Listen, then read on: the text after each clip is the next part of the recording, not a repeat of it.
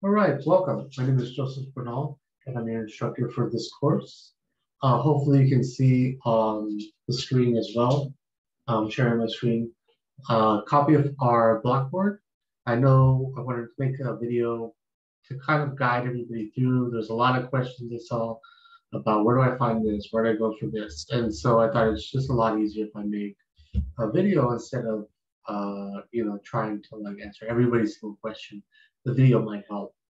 So if you take a look at Blackboard on your screen, I have what I call the welcome screen, right? And that was the class introduction versus click here. You see that on the left-hand side. And it kind of just gives you a little uh, background synopsis of like, you know, how the course is going to work, you know, what to expect, uh, especially, you know, the first week when we get started, we looked at the syllabus. Uh, there's going to be a group project, which is called the PowerPoint assignment. And there's going to be a report as well along with that. And I'm going to go into detail about how to work that. So I saw most of you went into the discussion board for week one, which worked well. Everything seems okay for the so far. And then we're going to start building on that from, from there. So let's take a look at some of the uh, features of Blackboard and where you can go to find some things. So for example, the uh, PowerPoint assignment, and that's a group project. You can go over here on the left-hand side, and you'll see PowerPoint assignment. And then you'll see a folder there. And with that folder, just click on it. And this should pop up. So you have instructions on how to do the PowerPoint assignment. Uh, you have what I call a PowerPoint report that goes along with that assignment. And those are two separate assignments, but they're related to each other. And I'll explain in a second. So with what you're going to do with the PowerPoint uh, report is that when you work as a group, right, there's always those cases where, well, so-and-so wasn't doing their work or you know, we were trying to work together, but they never responded and they really didn't even contribute to the project. This is why I made a copy of an assignment, its own separate assignment called a report. This is where you document everything that's going on in while you're working together. Who's doing what, who was responsible for what, and who didn't carry out what they were supposed to be responsible for. Uh, you'll see me glance to the right side. I have two screens going on, so just to let you know. So what you're going to do is down for the report, you're going to download the report, you're going to fill it out. I already did, a template, so you don't have to worry about, well, what is this report to look like? What do I have to put in it? And it's already kind of set up for you. So, and then you're going to submit it once you're done. Now, each member of the group is going to do that. So let's say you have a group of three, right? You're assigned to a three person group. So one person, let's say the lead for that group, is going to submit the PowerPoint project. So you only need one person to do that. But the report is a chance for everybody to kind of give feedback on how the, the group worked together or didn't work together. So every individual in the group has to submit a report. And that's going to be due the same day as your PowerPoint group project is going to be due. So let's go back. So here you can download right below it says copy of PowerPoint report. This is your template you're going to download. And it'll open up.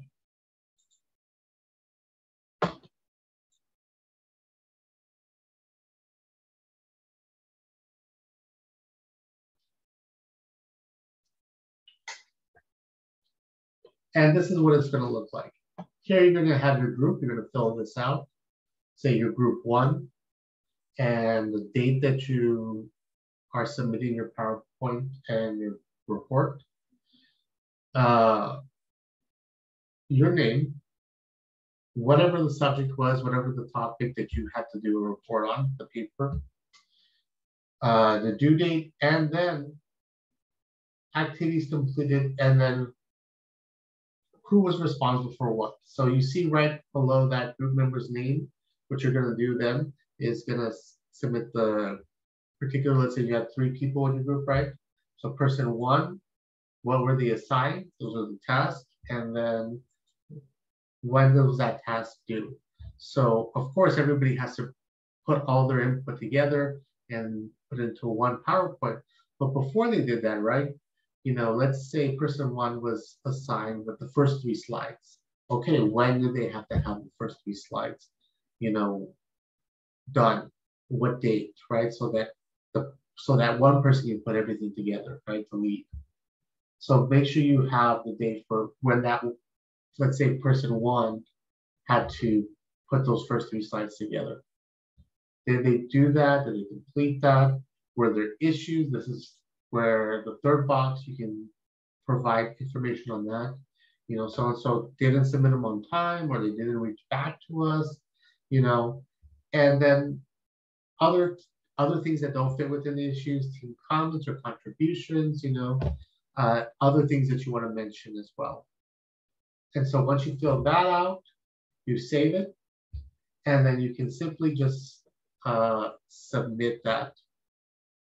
So well, let me switch screens real, real quick, and then let me show you what that looks like in the boxes.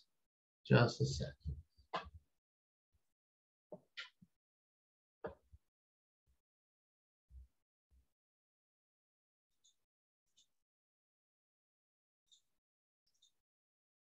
So now you see the, the template that I've had, the top where you put your group, the date, your name, whatever chapter or subject paper that you your group was responsible for, the due date and whatever activities you completed, right?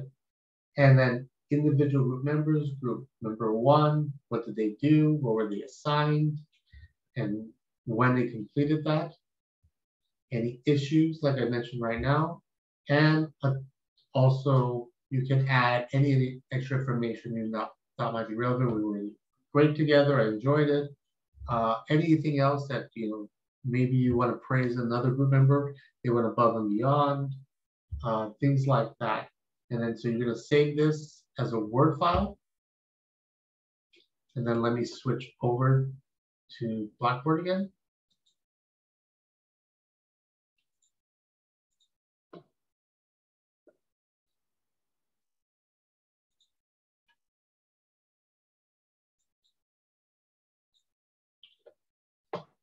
And then what you do is you'll submit it here, where it says submit individual report here. And there's where you click on the title, and then you are able, since you saved it as a Word file, you're able to attach it and submit.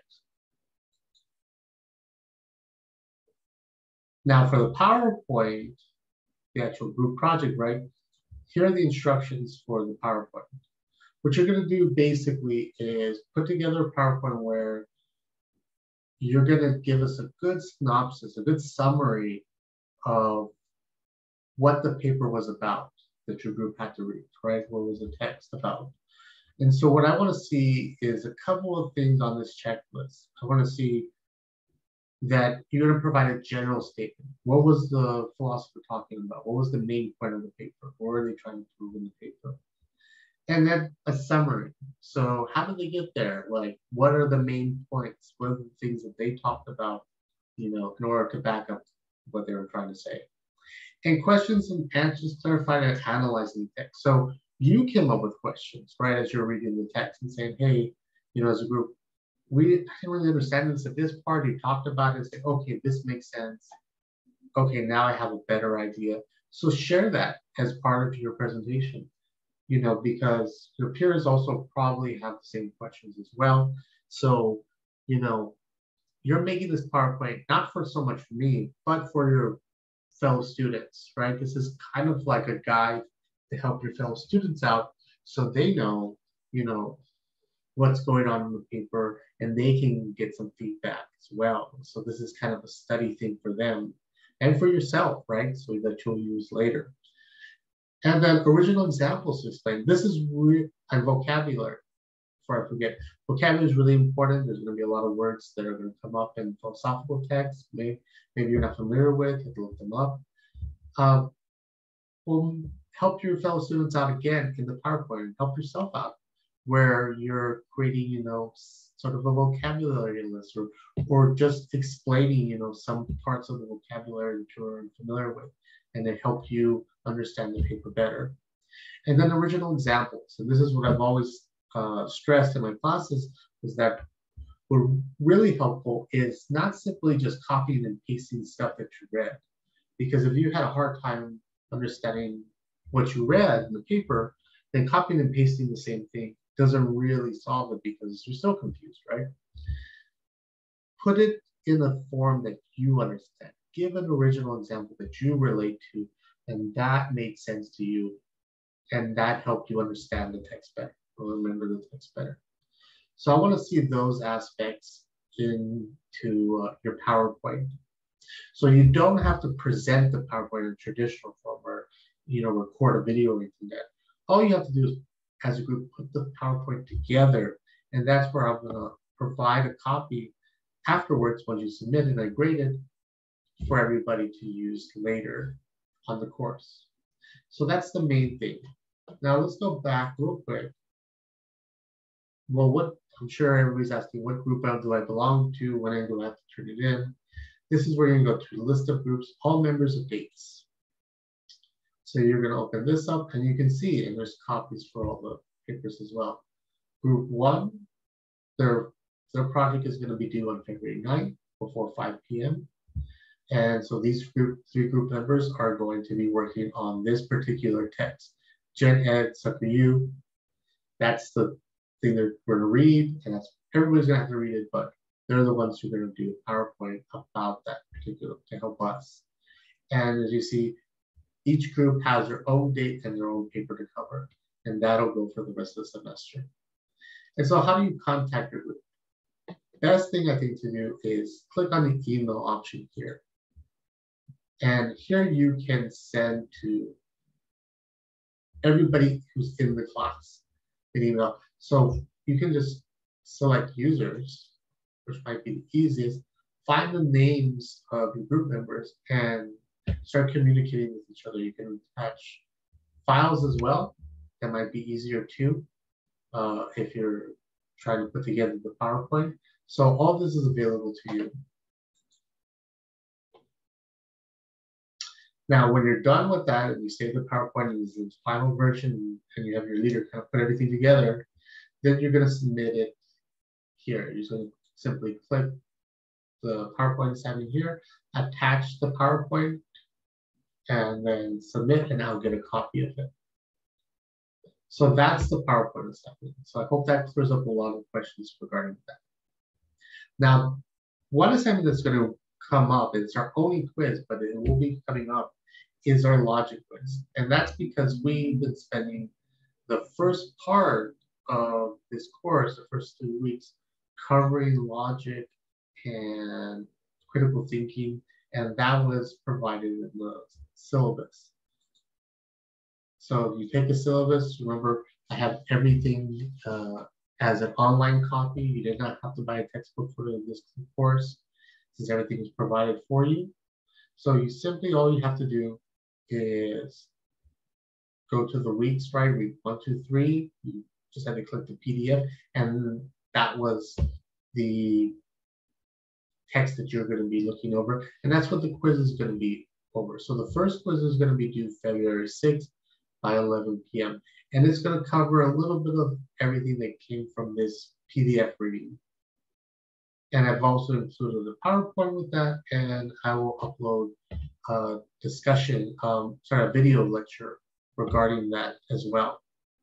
So you're going to submit that, and that's going to be your first assignment that you're going to submit.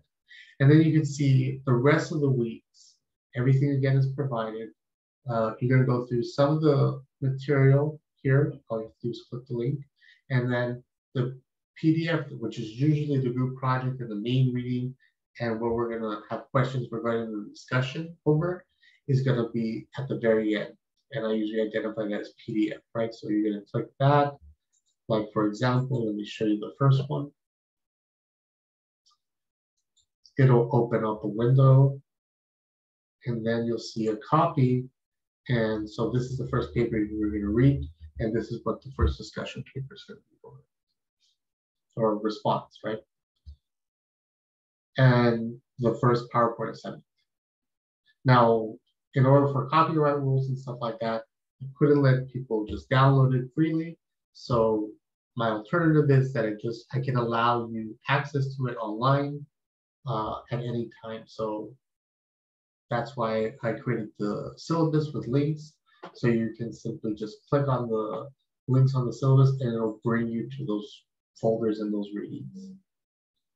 And that's how we'll go for the most part. What will be coming up in the future is our applied response, our first one. Think of applied responses as essays. It's kind of mini essays. And I'll have a whole explanation on how to do that once we get closer there. Our first applied response is not due until March 20th. You have some time, but keep in mind that that is coming up and that it will be part of the overall grade. So if you take a look at the breakdown for the course, you know, we'll have a logic quiz. We'll have the group PowerPoint assignment. That'll be worth 10% of your grade. Uh, the report is worth another 10%. Then you're also going to have uh, 10 discussion posts throughout the semester, and you do have to respond to those posts as well, to other people's posts. So keep that in mind. And that's also going to be part. And then you're going to have uh, three applied responses. And then you'll also have a midterm and a final. And those will be worth 20%. You'll have three applied responses, and that'll be broken up. Uh, and but altogether they'll be worth 20% of your grade. Now the midterm and the final alone, those are worth 20% each. And those are big chunks.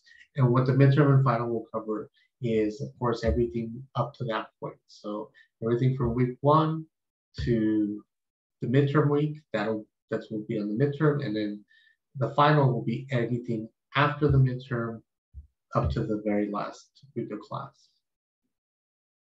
So if you have any questions, let me know. Uh, also communicate with me. If your project members are not communicating with you, they're not responding, you send them numerous emails, let me know, keep me in the loop, and I can see if I can uh, talk with them. Okay? And so if you have any questions, I'm here to help. And I hope that made more sense on some of the assignments.